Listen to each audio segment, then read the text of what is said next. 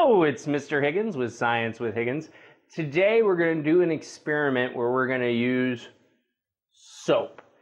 That's pretty much the only material that you need to get for this, but you need two different types of soap. You need Ivory, which is actually a name brand, and there's a reason for this, which we'll get to later.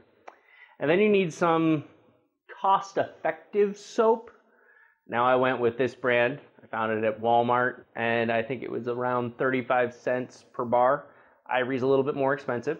And you're going to want two bars of each so that you can observe and compare what happens after you use the microwave on them. So get a plate and put each bar on it and make sure that you have permission to do this because this will make the entire microwave smell like soap for around a week. So either you like the smell of soap or it's just gonna smell. So take each piece of soap, one bar, put it on a plate. Uh, you will want to wash these plates afterwards because the soap just gets all over the place. And microwave it in the microwave for two minutes. And you can observe two very different ways that the physical properties of the soap change. So now we're all done.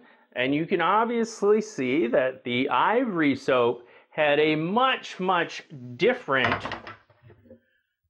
reaction to heat in the microwave because what the microwave is doing, we'll get here in a second, than this soap. And the reason for that has to do with how the soaps are made. Now here's a here's a zoom in of each soap, a picture of it. And if you look at the ivory soap, you really see these, these little rough patches. And the reason that those are rough is because ivory soap is injected with air. And as the air expands, when the microwave heats the water inside the bar, it causes the soap to balloon up and become kind of like a big white cloud. But the cheaper soap doesn't really have air injected into it. And so what you see with the expansion of that soap is the water turning to vapor. And in both soaps, the water is going to turn to vapor, but you get much more expansion of the soap in the ivory. Now, I'm going to head outside and totally just crush these because you really should experience the difference in how they feel.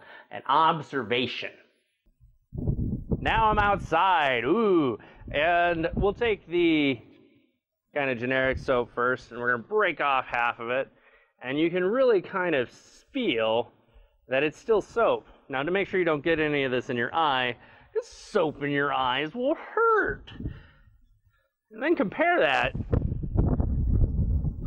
Can't take it off the plate, it looks like. Compare that to this ivory soap, which is a powder now, and getting all over the place. I just told you not to get it in your eyes, and look what I'm doing.